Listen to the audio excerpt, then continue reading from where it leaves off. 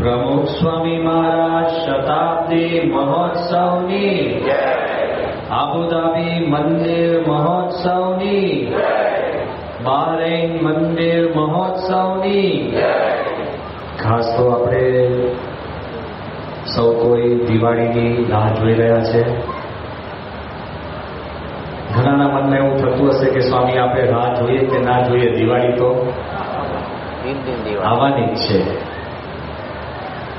તમે આંખ ખોલો કે ના ખોલો પણ નવો દિવસ થવાનો છે. ઘણાના મનમાં એવું રહ્યા કરે કે ભાઈ હું નહીં હોઉં તો શું થશે? પણ પચાસ સાઠ વર્ષ પહેલા તમે નહોતા જ, તોય પૃથ્વી ચાલી છે. અત્યારે સમગ્ર વિશ્વની અંદર મનુષ્ય માત્રને all the leaders of the world are all concerned for the future of the world. Climate ચેન્જની ચિંતા કરે છે. યુદ્ધના ભણકારાઓ વાગે છે. બધાને ચિંતા છે કે ભવિષ્યની આપણી પેઢી કેવી થશે. અને બધાને એમ છે કે આપણે એવા કપરા સમયે જીવીએ છીએ. તો મારો એક સામાન્ય પ્રશ્ન છે. I have a question five, six, seven, eight, ten thousand years ago, in the times when man was living in the caves, જ્યારે માણસ પથ્થર યુગમાં રહેતો હતો અને ગુફાઓમાં રહેતો હતો ત્યારે માણસ પાસે એવી કોઈ સાધન સામગ્રી નહોતી. વિચાર માંગી લે છે ત્યારે માણસ પાસે કોઈ સાધન સામગ્રી નહોતી. ટૂલ્સ નહોતા.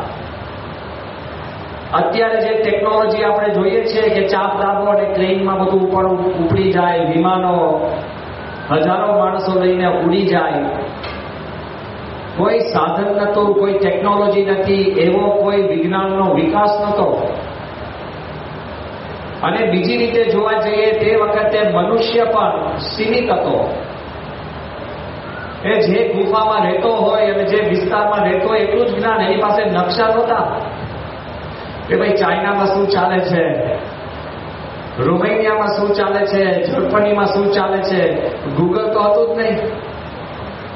કોઈ માહિતી નથી, કોઈ એવું જ્ઞાન નહોતું man was relatively ignorant man એની પાસે કોઈ વિજ્ઞાન કે સાયન્સ નહોતું.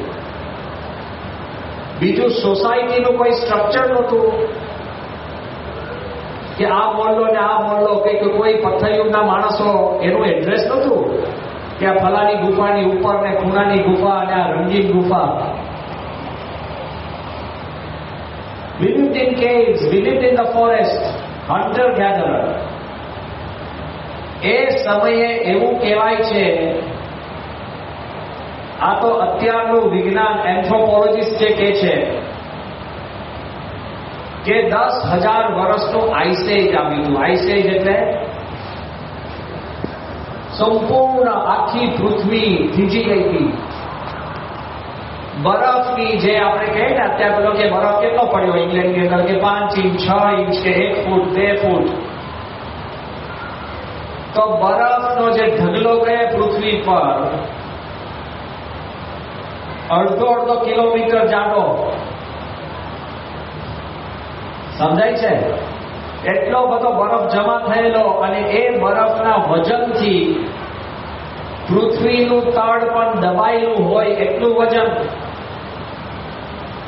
અને એવું કહેવાય છે કે નોર્થ પોલ અને સાઉથ પોલમાં આખી બરફની જે શીટ હતી, એ ચારે બાજુ બરફ બરફ ઉપર. ખાલી ઇક્વેટર કહીએ ને ઇક્વેટર ઇક્વેટર ત્યાં થોડોક ગરમાવાનો પ્રદેશ હતો, બીજું બધું જ બરફ. હવે જ્યાં બરફ ના હોય ત્યાં જ બધા આવે ને જીવે. માણસ ક્યાં જીવે? એ ઇક્વેટરના બેલ્ટ ઉપર. પછી મોટા મોટા ડાયનોસર્સ ક્યાં જીવે? ત્યાં જ. એ કે બરફમાં ફરવા ના જાય, બધા ત્યાં જ જીવે. પશુ, પંખી, વાઘ કહીએ, જે જૂના આપણે કહીએ છીએ. મહેમત કહીએ, જે મોટા મોટા હાથીઓ, મોટા સિંગડાવાળા આ બધું દાંતવાળા આપણે તો દૂરથી જ દર્શન સારા. અત્યારે તો જયારે આમ સામાન્ય વંદાથી ગભરાતા હોઈએ, પછી બહુ મૂછો મરડવાની જરૂર નથી. કે અમે બહુ બાબોસ છીએ. એ વખતે at a time when man was nobody, we did not have technology. We did not have science. We were ignorant. એવું સોસાયટી અને ગ્રુપ પણ નતું. કહો આપણે બધા ભેગા, આપણે હજાર જણ ભેગા થઈને આપણે આ બધા પ્રાણીઓને પાછા હડસેલીએ જ્યારે માણસ કશું જ નહોતો અને માણસ પાસે કશું નહોતું તોય એવા અત્યારે તો ખાલી તમે છે ને છ મહિનાની ઠંડી પડે તોય તમને ભગવાનનું ધામ યાદ આવી જાય. તો હવે કે બહુ હવે જીવીને કરવું શું? ખાલી છ મહિના માટે ઇલેક્ટ્રિસિટી બંધ થઈ જાય ને? હા ગભરાઈ નહીં જતા અમેરિકામાં કંઈક ત્રીસ કલાક કે કંઈક ચાલીસ કે બોતેર કલાક માટે એક વાર ઇલેક્ટ્રિસિટીનો આઉટેજ થયો હતો ન્યુયોર્કમાં કેટલાય આપઘાત કરી નાખ્યા કેવો બાપરે અને આપણે ઇન્ડિયામાં બધા મંડીઓ કાઢી મારે આવી જાય આમ ફરતા હોય કે બસ, હવે હવે આવે, તારે ખરું એમ. કોઈ પ્રશ્ન નથી, કારણ કે આપણે ટેવાઈ ગયા છે અગવડથી તો બિહેવિયર સાયન્ટિસ્ટ પ્રશ્ન પૂછે છે કે જે વખતે મનુષ્ય માત્ર પોતે કંગાલ હતો અબૂત હતો, સશક્ત હતો, ત્યારે આવા દસ હજાર વર્ષના હિમવાળા વાતાવરણમાં પણ ઇફ મેન સર્વાઈવ તો હાઉ? કેવી રીતના એ સર્વાઈવ થયો છે? તો તપાસ કરતા એ લોકોને જૂની જૂની ગુફાઓની અંદર નાના નાના ચિત્રો મળ્યા. ચિત્રો. કેવમેન જે ચિત્ર કરે કેવા સામાન્ય હોય? એમાં કે આકાર માત્ર ન હોય. પણ આમ કંઈક તેજ હોય અને કંઈક બીજા થોડાક માણસો હોય ઉપર કંઈક જોતા હોય. તો લોકોએ એવું એક તારણ લાવ્યા છે. એવી પરિસ્થિતિમાં પણ જે પથ્થરયુગનો માણસ પણ એ કોઈ પર શક્તિમાં માનતો હતો કે એના આધારે, એના હકારાત્મક વલણના આધારે, એના વિશ્વાસના આધારે, એની શ્રદ્ધાના આધારે મનુષ્ય પાસે કશું નતું પણ એક શ્રદ્ધા હતી તો અત્યારે આપણે જીવતા છીએ. આ જે મહાપૂજા આપણે કરીને એ આપણી ભગવાનમાં શ્રદ્ધાનું પોષણ માટે કરી છે. આ કઈ ભગવાન જોડે બાર્ગેનિંગ નથી. તમે એમ માનો છો કે આપણે પિસ્તાલીસ મિનિટ મહાપૂજા કરી એટલે ભગવાન આખા વર્ષનું સુખ આપશે? તમે ના આપો બોલો. તમારા માટે કોઈ પંદર મિનિટ, વીસ મિનિટ, પચીસ મિનિટ કામ કરે તમે કહો આખી, આખા વર્ષનું તમે મહેનતાણું આપીશ તારું હું જિંદગી સાચવી લઈશ. It's not about time, it's about faith. If you have faith as small as a grain of rice, એક ચોખાના દાણા જેટલી પણ તમારામાં શ્રદ્ધા હશે and you say unto the mountain, be thy moved. તમારા પાસે ચોખાના દાણા જેટલી શ્રદ્ધા હશે અને તમારી સામે પર્વત હશે અને તમે પર્વતને કહેશો કે તું ખસી જા, તો ભગવાનની દયાથી એ ખસી જશે એવી શ્રદ્ધામાં તાકાત છે. ગુણાતેન સ્વામીએ વાત કરી છે કે વાદળ જેવા દુઃખ હોય. વાદળ જેવા દુઃખ. તમારે ને મારા દુઃખ ક્યાં? કોઈ હિસાબમાં નથી. કદાચ પગાર વધારો ન થયો ને એમાં ટેન્શન કરીને વધારે ગોળીઓ ખર્ચીને દવા લઈને વધારે બીમાર નહીં થતા.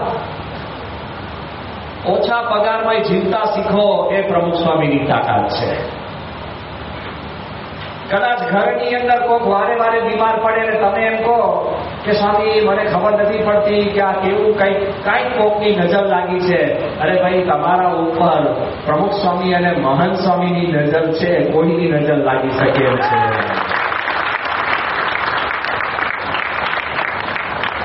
આ નવા વર્ષની આપણી પ્લેજ હોવી જોઈએ શ્રદ્ધા, ભક્તિ વધે. શ્રદ્ધા અને ભક્તિ જો આપણામાં વધે, તો ભગવાને જે આપણને આપવું છે, એની માટે આપણે તૈયાર છે. એક આપણા જ હરિભક્ત છે, અહીંના દુબઈના જ છે.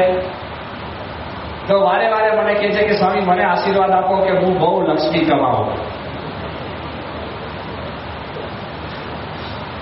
એટલે મેં કીધું, ભાઈ, તારા ભાગ્યમાં લક્ષ્મી નથી. તો એ કહે છે, તો ભાગ્ય બદલો. લે.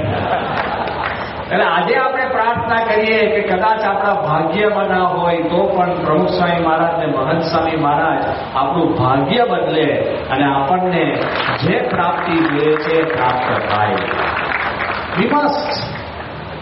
આપણા મનમાં જો શ્રદ્ધા હશે, આપણા મનમાં એક પોઝિટિવિટી હશે, હકારાત્મકતા હશે, તો કોટી કલ્પે આપણું કોઈ કંઈ ભૂંડું કરી શકે એમ છે જ નહીં ડિપેન્ડ અપોન યુ મંદિરે આવી અને આવા પવિત્ર સ્થાન આવી પૂજા કર્યા પછી પણ તમારે રડતા જ મારે જવું છે કે લોકોના આંસુ લૂછતા મારે જવું છે ડિસાઈડ અત્યારે ખાલી હું તમને પાંચ જ મિનિટ આપું ને હું કહું, કોઈ પણ એક દુઃખ યાદ કરો, બોલો, બધા રડવા માંડે. જે તમને મેં ટીશ્યુ આપ્યા છે ટીશ્યુનો પૂરેપૂરો ઉપયોગ થાય. બધાના જીવનમાં એવા પૂરતા દુઃખ છે. તો એ જ દુઃખ વારે વારે યાદ કરીને વાર દુઃખી કેમ થવું છે? ઘણી વાર અમે કહીએ છીએ ને ફરી વાર હું યાદ કરાવું છું કે કોક આ મંચ ઉપરથી આપણને કોઈક એક જોક કે હા?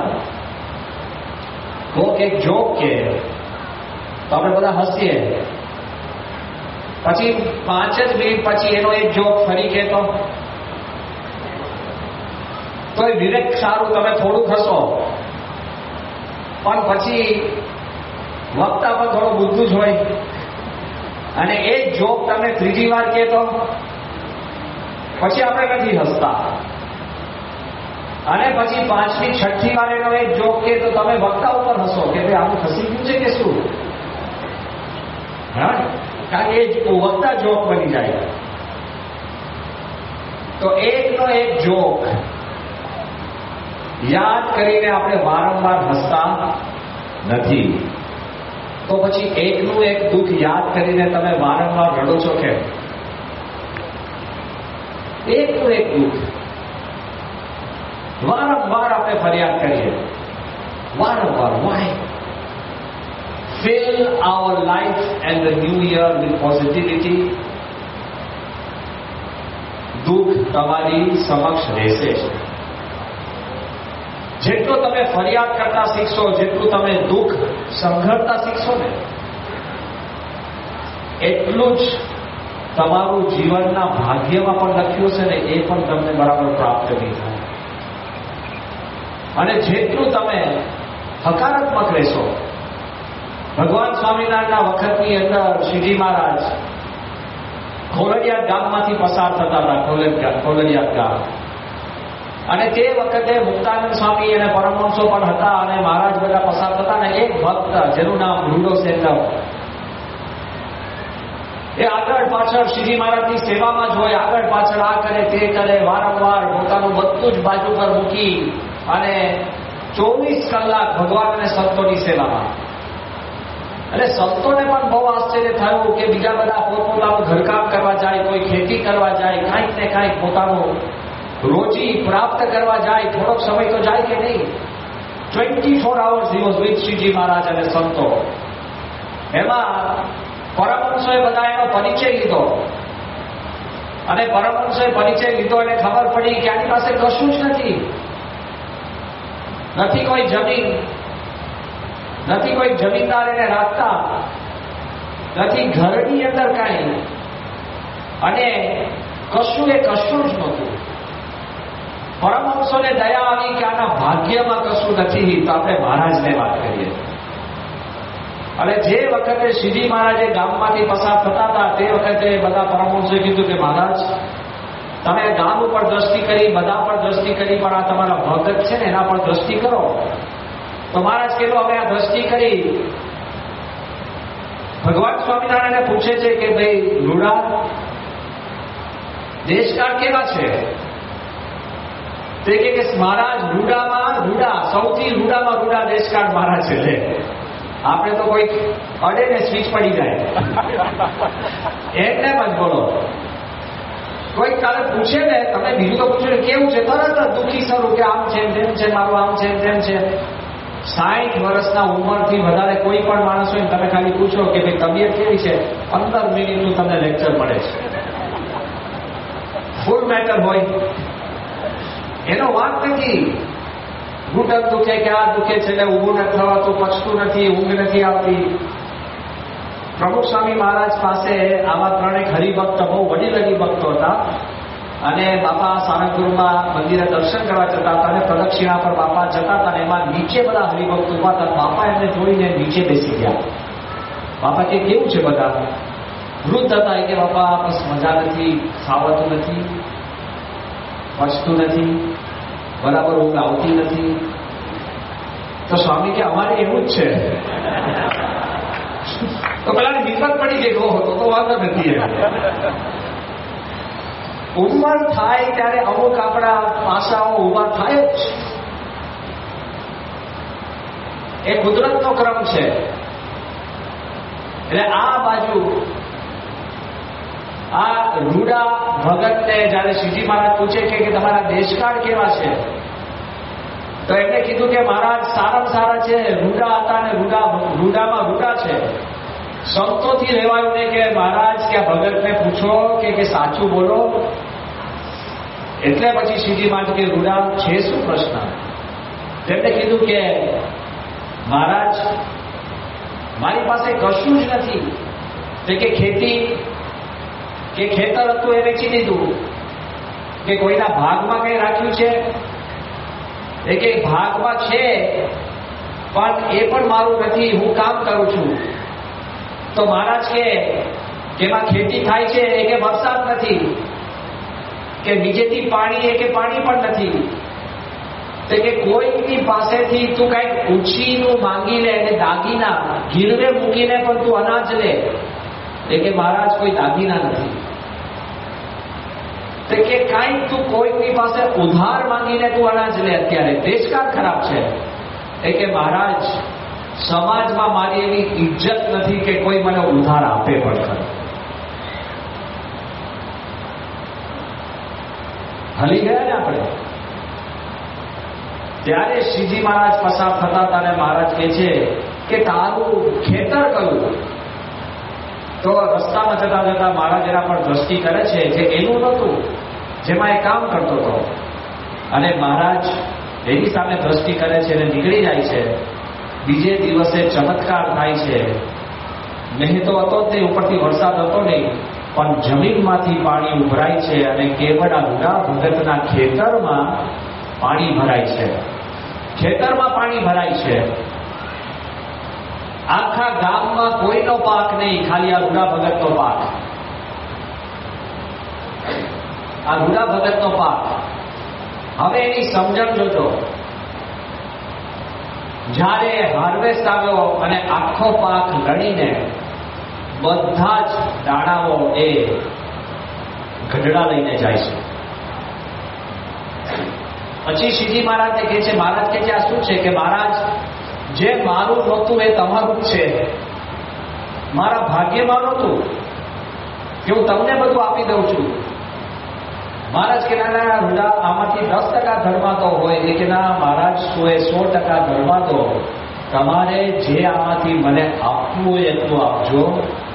મારા આના ઉપર એક દાણાનો હક નથી. સમજજો શ્રીજી મહારાજ બધું જ એને પાછું આપે છે, તો કહેવાનો ભાવ જ શું કે જે ભગતની અંતરની અંદર હકારાત્મકતા હતી, જેના હૃદયની અંદર શ્રદ્ધા હતી, તો આકાશમાંથી નહીં, પણ પૃથ્વીમાંથી પણ તમને જે પ્રાપ્ત થવાનું છે પ્રાપ્ત થાય છે.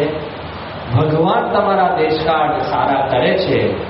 એ જો આપણા મનની અંદર ભાવના હોય, તો આજે આપણે પ્રાર્થના કરીએ, આ નવા વર્ષની જે આપણે મહાપૂજા કરી હજુ તો નવા વર્ષની પણ પૂજા છે, દિવાળીના ચોપડા પૂજનની પણ પૂજા છે, પણ દરેક પ્રકારે ભગવાન આપણને સુખ્યા કરે, પણ મોટામાં મોટું જે અત્યારની આપણી પરિસ્થિતિ હોય, એમાં શ્રદ્ધા રાખી, ભક્તિ રાખી, અને આપણે હકારાત્મક રહીશું.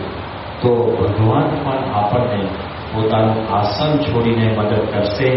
આજે અમે પ્રાર્થના કરીએ છીએ કે જેમ આપણે મહાપૂજા કરી, એમ દરેકના ઘરની અંદર પણ શ્રીજી મહારાજ આવીને વસે. દરેકના મનની અંદર પણ મહારાજ આવીને વસે. દરેકના કાર્યની અંદર પણ વસે.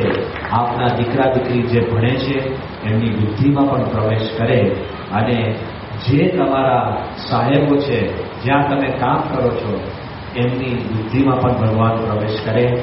અંતમાં આપણે પ્રાર્થના કરીએ કે આ દેશ, દેશના સર્વે રાજાઓ અને એના જે સર્વે કાર્યકર્તાઓ, આ ઉપરાંત પણ ભારત દેશ, એના નેતાઓ અને જે કોઈ આપણા સગાવાળાઓ ત્યાં રહે છે અને વિશ્વની અંદર પણ ખૂબ અત્યારે એકદમ તકલીફો છે એ બધી શાંત થાય.